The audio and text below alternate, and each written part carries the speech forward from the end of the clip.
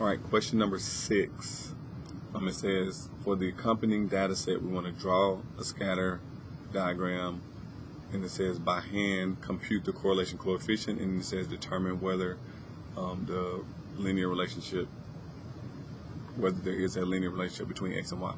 Okay, so we will not be doing that by hand. Again, it's a very complex, complicated.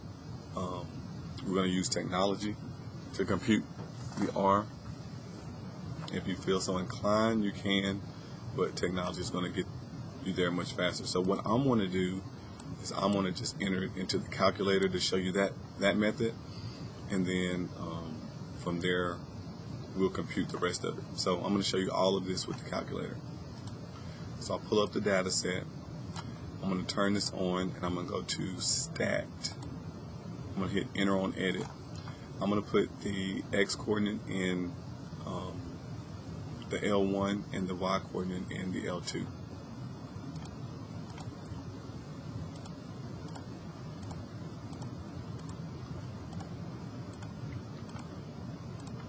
Um, L2, 4, 8, 10, 14, 18. Okay. Once we get that, I'm going to go to stat plot. So I'm going to do second y equal. I'm going to hit enter to turn it on. Hit enter. And then the first one that is highlighted is like a scatter plot. It's on already. Hit down. It's already on the scatter plot, so I'm going to hit graph. And then you can see some dots, but if I do zoom six, well, not six, I want to do zoom zero. That's going to, actually not zoom zero, I want to do zoom stat. Where's stat at? Did I miss that Zoom stat. It's going to give me a, so option number nine. I'm to do zoom stat. It's to give me a stat plot diagram. Now I still got equations in y equals, so let me clear this out so I don't see the line. So I get this. So here's my relationship. Um, looks close to B. You can see they have a window that goes to 20 and 10. If I want to do that, I can go to window, my x minimum 0, x max 10, um, counting by ones, y minimum 0, y maximum 20, and then we can do graph. We get one a little bit closer to what we see. Actually, D looks the best as far as that window is concerned. Now, once you do that, um, we can do stat. We can go over to calc. Now, since we're doing two variables, we're going to do option number two. To give me a two variable statistics.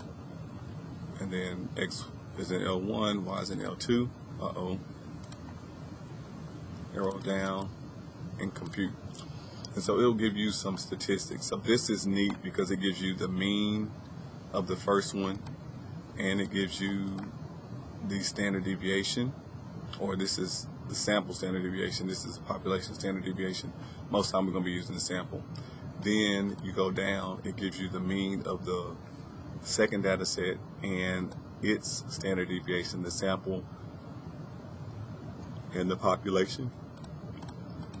And you keep going down and it doesn't show you the R, but you can get it to show R if you turn R diagnostics on. So on the calculator, if we go to mode, and we're going to arrow down where it says next.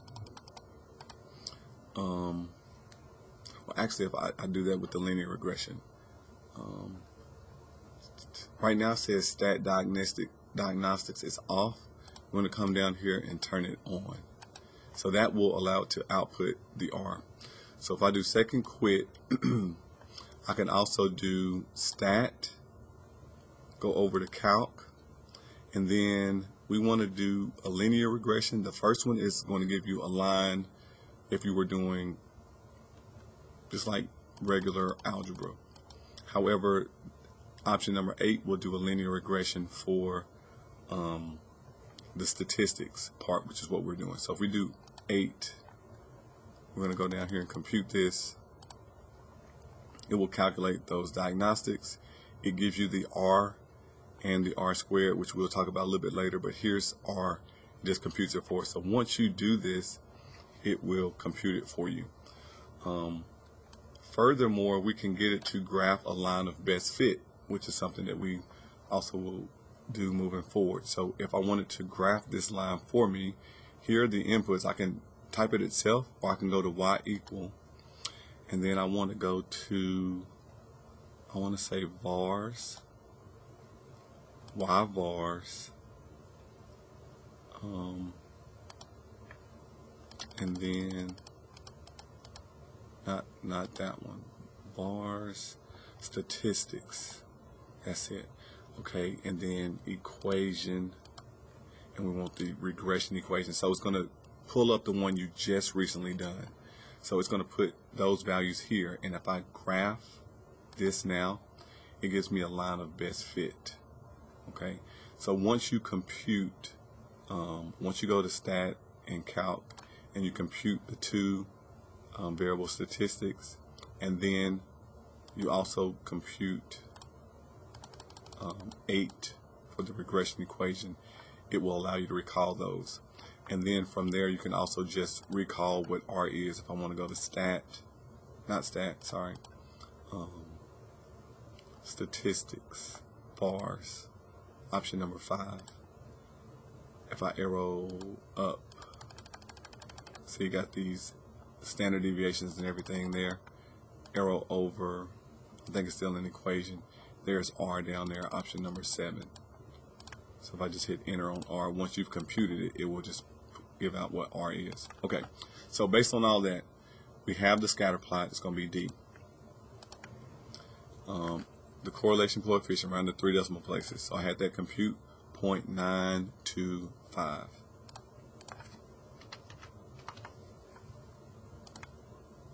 and then because the correlation coefficient is positive absolute value of the correlation coefficient is um,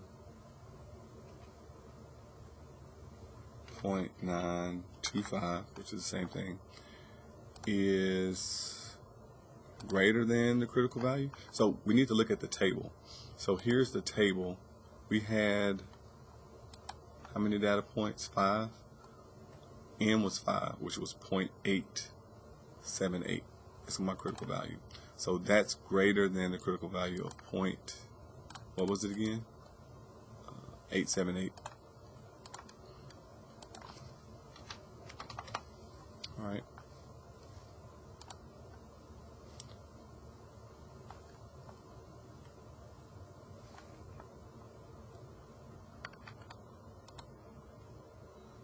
Let me read this. Because the correlation coefficient is positive, the absolute value of the correlation coefficient is 0.925. This is greater than the critical value for this data set, which is 0.878.